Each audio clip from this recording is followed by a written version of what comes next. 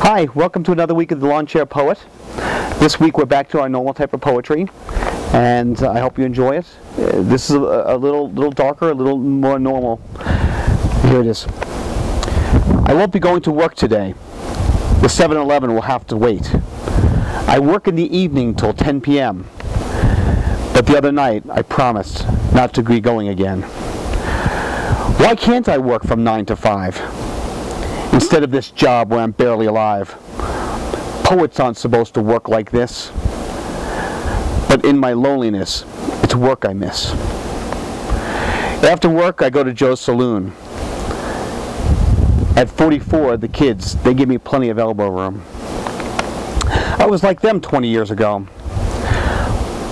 But $18 shots was not the stuff we'd blow. I met a girl, we had a kid. That was the last important thing I did. She left me seven years ago. Now I'm half dead. The other half is mostly limp. That silent shot last Saturday night. That silenced a poet who can't speak. Never mind rhyme anymore. Though his acquaintances wait for saving words down the corridor, the poet is no more. Thank you. I'll see you next week.